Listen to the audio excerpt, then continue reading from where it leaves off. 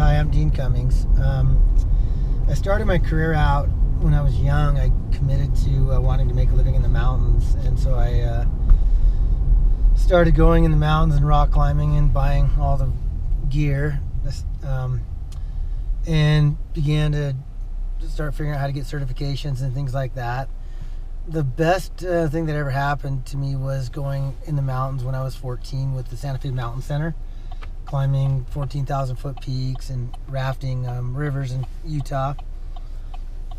And it was really neat because it showed me that there's guys out there that can make a living at it. And it was guys like Kenny Sims. And, he, this guy really pulled me in under his wing and, you know, showed me and told me how, how you can do it.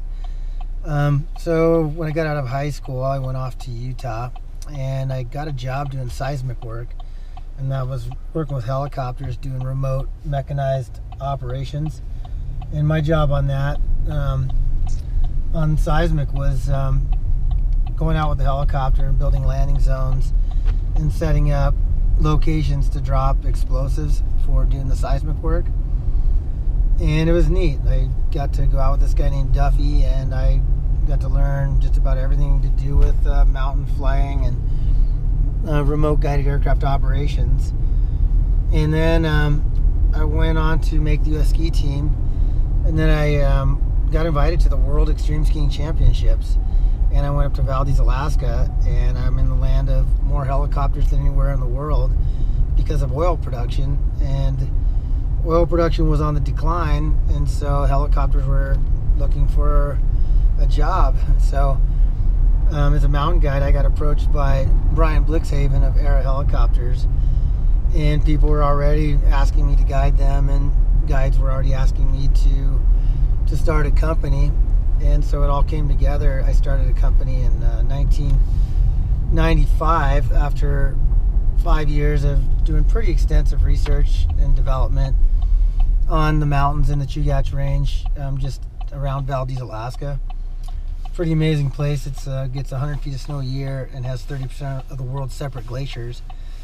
So these mountains are just so young. They've just literally been lifted out of the um, out of the ground by this by the Pacific Plate coming in just flush and just causing uplift. So they're super young, jagged mountains. So the snow really hooks up to them well because a lot of anchoring.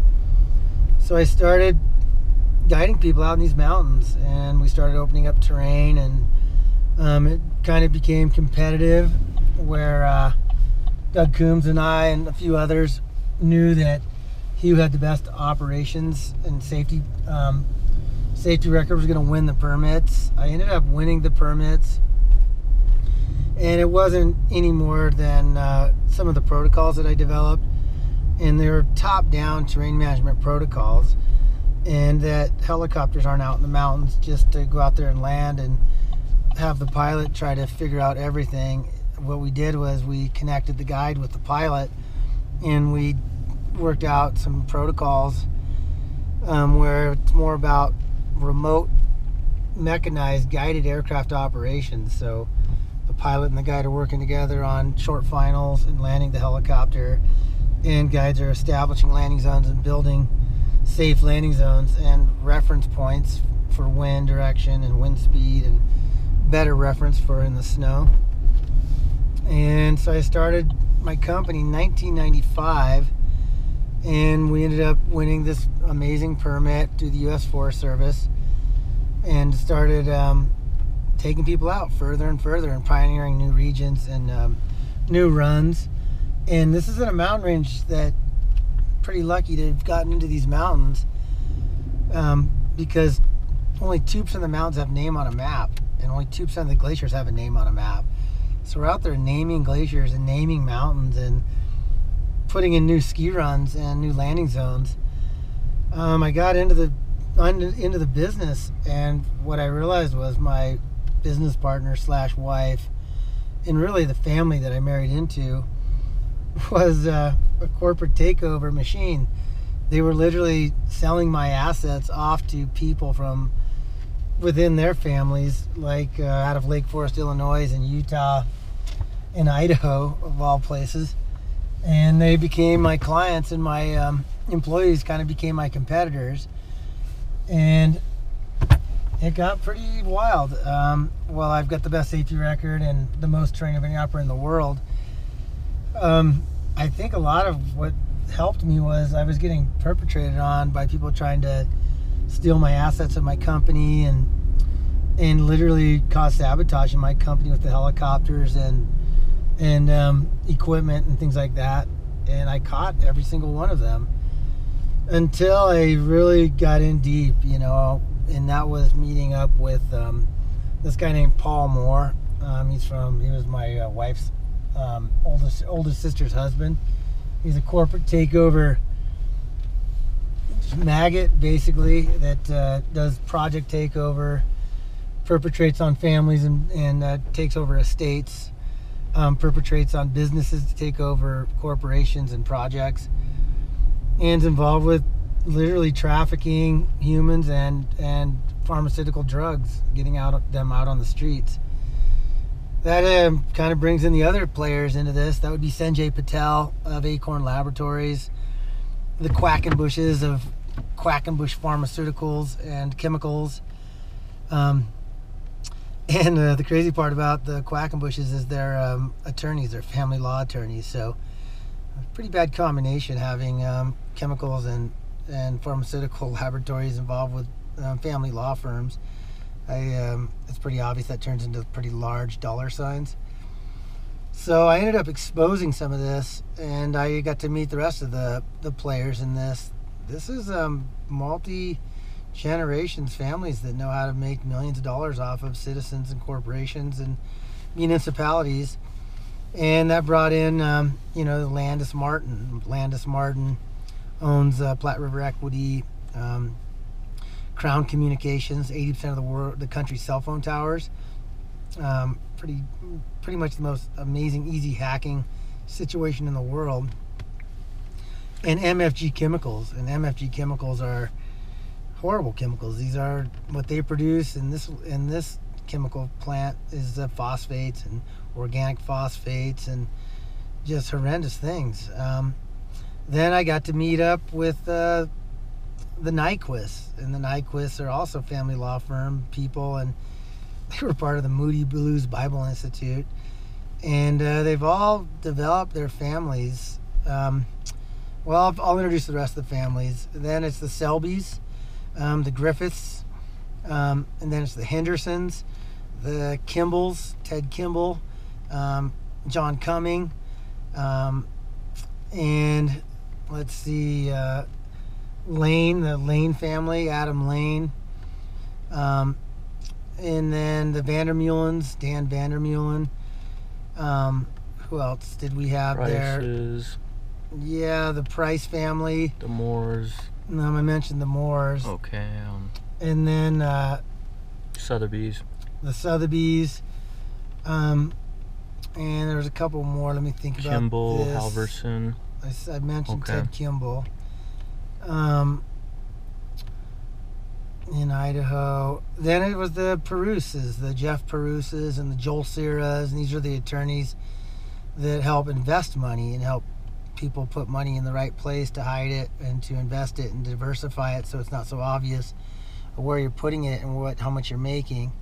And then it was um, Platte River Equity, and it was uh, CBRE out of Beverly Hills, um, Matt Rittman, Rittman Financial, um, Blue Flame Financial, Blue Flame um, Realty Investments, and uh, Jake Kilgrow and Kilgrow Realty might possibly. Price funding. And there's a connection there with um, Jackson Hole Property. Um, then it goes on to Telluride to O'Neill's, Brian O'Neill of Telluride Properties. Um, and then there's construction firms. It's the Layton, the Layton family construction company out of Utah and California. And then um, uh, the guy out of California is, um, oh, what was that guy's name? Yeah, you had the Rittmans, and who else was uh, there? uh, the um, Antu Soretti. He's the construction firm out of uh, Lake Tahoe. Then the you got, Fultons were out of there you too. You got right? Neil Ringstad out of Telluride, um, and I can't remember his company exactly. and then I got Hamilton out of uh, Denver, Colorado, and out of Valdez, Alaska. So basically, here's how it works. They literally profile people. They use databases and they use other means to target people that have wealth and assets paid for, and they um, they figure out their vulnerabilities. They figure out what they even figure out where they can sell this asset to, like a corporation or a project, or a person's business, lifestyle, home, property, everything. And they literally, they literally broker citizens of America's assets out and sell it. Um, they perpetrate um, also divorces. This is Kathy Moore, um, Mary Beth Griffith, Karen Karen Stokes, um, Kyle Kyle Lieberman. Um, let's see, Gabriella Palco, Jessica Nelson, um, Jessica Bullock. Um, The other think. Palco. Gabriella Palco. What was her sister's name or cousin? Gabriella. I mean, M, Palco. M Palco. Was M.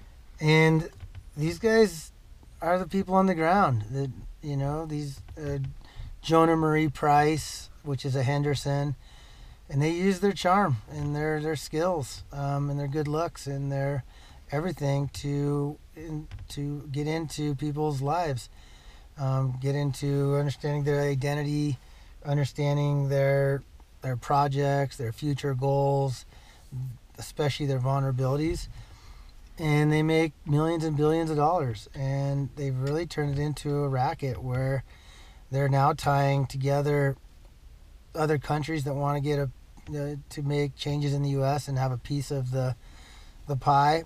Um, they're bringing in the FLDS groups literally the cult groups um, and in this military facet um, what did you call that? That's more of Yeah, there's definitely um, ex-military uh, people. I mean, definitely Jaber, Alas- uh, Alaska. There seems to be a connection there. I mean, former CIA, former um, FBI. It appears current FBI agents, unfortunately. yeah. Uh, I mean, it's it's pretty uh, uh, disheartening. So, I ended up opening this um, this window um, because I was on rails in Valdez, Alaska, and I was getting ready to build the largest vertical foot tram in North America um, through through the city. Was all excited to diversify away from oil or alongside oil, so to speak. Um, building a beautiful float plane base and offer outdoor education through a university called um, the Prince William Sound Community College um, start using the airport that we had that was built for jets, but no jets have ever come in. So we could actually start getting people there and share with them this incredibly untouched wilderness so people get a profound respect on why we need to protect it. Start doing more outdoor studies programs, start doing more science studies programs. And this is a college has 13 students and has rooms for at least 350 students. So it's been a smoke and mirrors federally funded university, and it would be the ultimate, um, the ultimate example of what you can do to diversify a community and vote and use and have your assets become the future of this community. And those assets are are really the outdoors and um, subsistence living. You know, gathering your own fish and hunting your own moose. Um, the university, I didn't mention this, is important. This would bring people into a place with 30% of the world's glaciers, with the most diverse climate change situation going on, where we have some glaciers that are growing and glaciers that are receding on the coastline. Um, and it's untouched, you know. And what we got to do is talk about and focus on climate change and, and teach people a bit more about glaciology to understand the effects of climate and a glacier is the best way to do it because it's one of the most um, extreme visuals you can paint to somebody when you show them a glacier that's receding 10 miles in 10 years. Um, so I ended up basically on rails about to pull all this off, and um, these guys got themselves exposed, not just through me, but through their just their karma and how how crass they were about what they were doing. And they're basically trying to destroy everything, everyone like me that could prove them wrong or could come in and and change things for the better to diversify a community is and turn it into the example of what all the other communities, towns, and cities can do in Alaska, and in America, in Canada, in Europe, even um, to really make these towns use their assets that they have without drilling it, cutting it down, or, or mining it, um, or building pipelines to it. We all know there's enough energy just to harness with um, water and in wind and sun. And all we really got to do is make these communities that have assets that make the community a wonderful place that people want to move to and start their second generations and be proud of what they have and share. And so I'm kind of running into a brick wall. I'm running into the, the Bill Walkers of the world. He was the, the attorney of Valdez. He embezzled our town. He embezzled our state of $138 million. Um, he embezzled North Pole, Alaska. Um, he's built an empire of corruption, and that corruption is um, the attorney general, um, uh, deputy district attorney, de- dep- deputy uh, Attorney, attorney general. yeah. Um, his name's Robert Henderson. Um, he's um, working with horrendous attorneys to try to keep it quiet, the the, the, the program going, uh, and it's literally horrible. It's the program of corruption up there. yeah, they're trying to keep this the status quo of corruption and oil, gas, and drilling, and and it's the only way they're Well, not going to get caught. But let, let me ask you this. but hold uh, on, let me finish the attorneys okay. attorneys.